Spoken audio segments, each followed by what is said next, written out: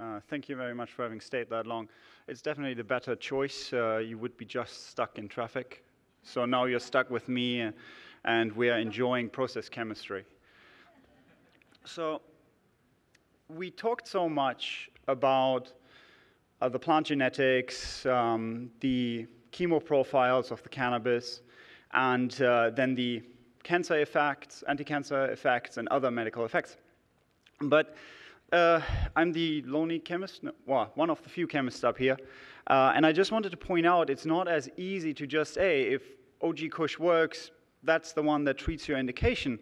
Uh, and um, to make this point that there is a little bit more to the whole production pipeline than just like strain and then you're good with a medical outcome, uh, I just want to say, show what all happens during these steps. Um, for that, I bastardized one of the Discnomics um, uh, graphical representations because uh, up here I devised this kind of uh, visualization. And uh, here in the middle, the middle circle um, shows us which cannabinoids are present. Uh, so the blue ones are THC, the red ones are CBD. Um, so this shows the ratio, and the diameter of that circle is how much there is, the total concentration. And the same counts for the terpenes just point a, uh, point a few out. And it's not important to really remember which cannabinoid is which color and which terpene is which color. It's just important to just understand the basics like ratio and the diameter is your concentration. Um, I will also not concentrate on cultivation or formulation because they are not my fields of expertise, and uh, we talked about that enough uh, over the last few days. Um, so we do see different strains, different cultivars offer different chemical profiles. On the cannabinoid side, not so much, because there, as it was pointed out in a recent paper, there is actually not much difference thanks to being able to test for THC. All cultivars in California are now high THC. Uh, if that was the greatest idea, we are not really sure, but there is still a large variation in the terpene profiles. And uh, as you can see, you have different dominant uh, terpenes, uh, here's the yellow, that's limonene, then that's, um, that's myrcene, and here the uh, orange one is beta-caryophyllene. Uh, but you also see them in different concentrations. Um, so, and that there is a difference in the terpene profiles we saw in the talk yesterday about, about this, uh, this omics, and uh, there's also a very nice paper that talks about the chemical chemovars by Fischedick. Um, but again, my focus is on what happens between you grow it and then you actually give it to your patient. And I just wanted to point out, it might be obvious, uh, but some people might forget about this too, is the way you dry your plant actually controls how much terpenes there is. So you don't have much effect on the cannabinoids itself, but if you do the fast dry, like, hey, I dry it in four days and then I go on, you lose most of your terpenes. Uh, and you have to control the conditions in your uh, drying room to really control what is left on the plant in the terpene, uh, on the terpene side. Uh, and we can take that further, uh, depending on which atmosphere you store the cannabinoid, or the, the cannabis itself, you again, you affect um, the concentrations, the amounts of terpenes, the concentrations of cannabinoids, uh, and even the ratio of terpenes. So if you look at this here, this is blue, yellow, gray, green, um, which is the same here. But if you change the gases, now we have instead the gray, we have a blue in here. Um, and I really can't remember which terpenes they were, but the point is we are changing the terpene profile. So that is good and bad. For one, if you wanted something to be stable, don't change your gases. But if you want to be more an artisan approach uh, to, to really modulate the flavor or the terpene profile, you can do this. You can also use all these aspects to compensate for any variance that might come out from the grow. Maybe your lights were off for a day or you had a hail day. Well, probably then it's all dead. But if it rained, for example, too much. So and this is just in the drying and uh, curing aspect of the cannabis plant. Uh, then my main field of research has been on the extraction side. So if we just pick one of the uh, of the cured strains and we take them along, uh, pro tip: if you want to extract, don't cure; it's just a waste of time. Uh, but for the extraction part, it even makes a difference how you mill. Uh, different milling methods will give you different extracts if you keep everything else the same. And uh, I want to point out the food blender here. Um, because you can't just say, oh, I mill it and then we are good uh, compared to whole flan, because at two millimeters we get this basically best yield out. Uh, and if you do a food blender, which gives you a very imprecise, varied particle size, it will be all over the place. And um, if you care about efficiencies, that's definitely not the way to go. And then in the extraction itself, and here I just uh, show that for supercritical CO2 extraction, you can really modulate what you extract. I can pick out just the terpenes, I can pick out just the neutral cannabinoids, so THC here, or I can extract a THC acid, so the acid form, and have that one relatively purified or enriched.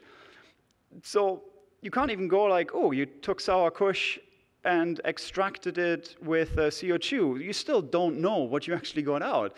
And you can't go from one vendor to the next. Uh, they probably don't use the same methods. So you can play with that. Um, but as, a, as an extractor myself, I can now still use that to play and modulate. So what does the doctor want? What does the patient need? Um, what variants did I get out of the grow? What do I need to buffer? And the same I can actually do with uh, CBD versus THC extraction, um, they do have different solubilities uh, in CO2, so I can now play with that ratio. Uh, we know from all these chemovar studies that uh, this cannabis cultivars mostly extract exclusive T uh, express mostly THC, mostly CBD, or a one-to-one mixture in the middle. But if you want a three-to-one from a cultivar, you can do that if you play with your extraction conditions. Um, and for the hemp people, if you need to suppress your THC amount, uh, there is a method, uh, there's a way doing that in the extractor and not having to deal with it afterwards. So, okay, now we're done, right? Unfortunately not, because uh, normally you post-process, or most people will post-process the material. And uh, the general thing that is done is decarboxylation. And uh, I've seen it in person far too often.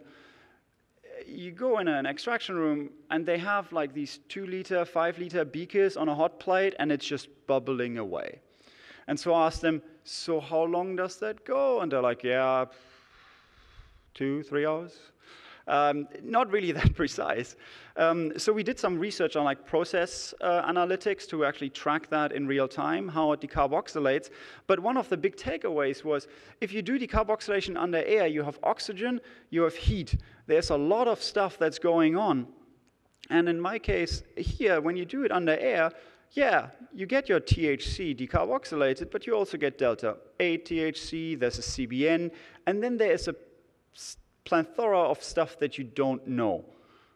Like, there are currently no analytical methods that can tell you what it is. Well, it made the people high, it looks clear, so we're good, but um, so far we don't even know. So I would recommend doing that in under an inert atmosphere, so here exemplified by CO2. There's no oxygen present, so you don't get all these wild uh, side reactions. And talking about side reactions, that is still possible in your distillation apparatus. If you're good in distilling, you kill these few percentage of THCA and maybe some other minor cannabinoids and get rid of all the flavor, and you have like really nice, clear, pure THC, which we just saw in the talk before isn't maybe not the thing you should use anyway. Um, but if you don't really know how to extract and you just think clear is king, uh, you get all these other things that are currently still unidentified, but at least they make you high. So, I, so it just boggles my mind as a, as a chemist. Like, they don't know what they're doing, and like, most people don't seem to really care. Um, but we really need to, to think about this processing step also on a very specific and organized method. Um, and I said I'm not talking about formulation. I just want to do one case study. Uh, we have a patient, so most, uh, all of this research was done at Outco in San Diego. It's a fully vertically integrated dispensary. So we do see patients. And uh, we had a patient in his mid 30s, and he had about eight seizures a day. And the mother was uh, at the end of uh, her uh, hope. Everything else, the classical medications didn't work. So she comes to us and wasn't sure does she really wants to do it? It's cannabis, it's weird. And at some point, she's like, okay, we try it. So she takes, buys this uh, CBD THC tincture with a 1 to 3 ratio, um, 40 milligrams per milliliter, no terpenes because I do remove them mainly for flavor aspects out of my extract first, and then MCT oil, so medium chain triglycerides from uh, coconut oil distillate. And the patient basically went seizure free for weeks. And we're like, yay. So then the mother comes back and buys the nice next bottle when it's empty, and it's the same bottle, the three to one oil, and the seizures restart immediately. And like she's freaking out, they're in the dispensary freaking out, and this was um, earlier this year, so I had seen Professor Dini Mary's talk last year uh, at Harvard, and I was like, yes, I was waiting for this case because we changed Chemovar because we ran out of Diamond OG, so we used Lemonade Haze. But we formulated it exactly to the same concentrations. And the patient seizes again.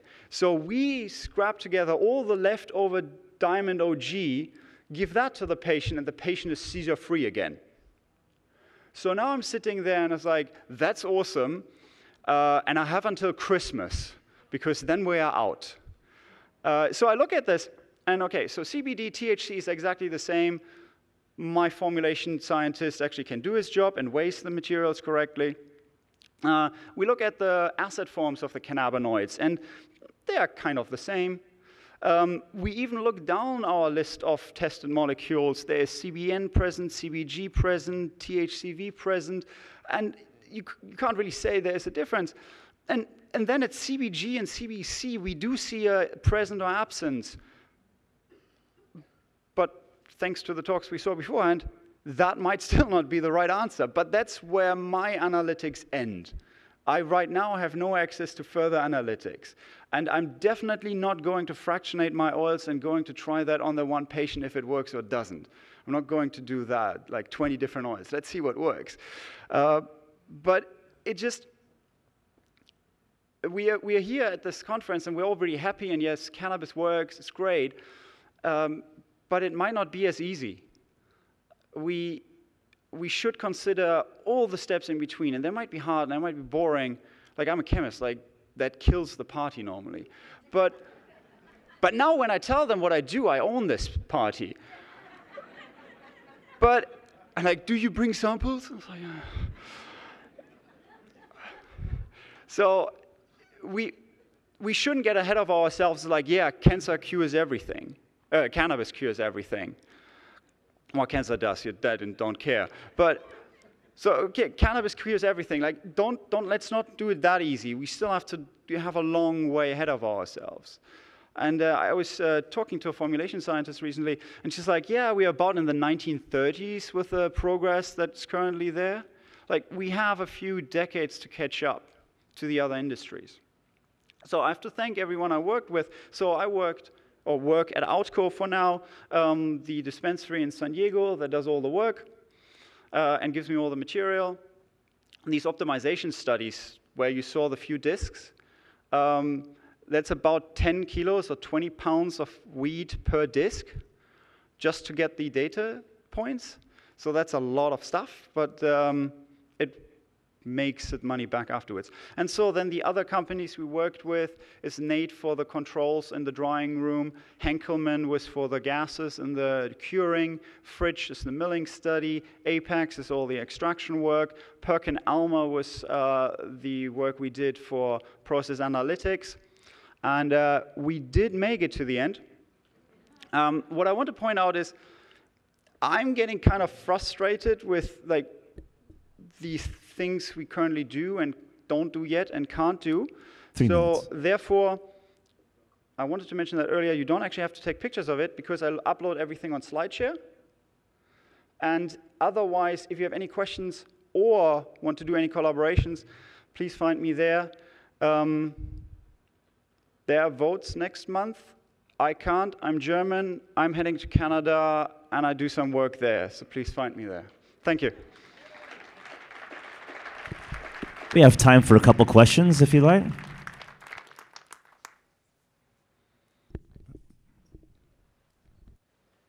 Hi, just to clarify, with those two preparations, were you fortifying with isolated compounds to reach those equal three to one levels? We fortified with uh, CBD isolate, yes. Uh, we only grow THC strains, so we used isolated CBD. And are you aware if the patient has had a chance to try CBG or CBGA? Uh, I have no access to that purified, so I can't uh, offer that. Great, thank you. Any more questions? Thank you very much. Round of applause, Dr. Mar- Markus Roggen.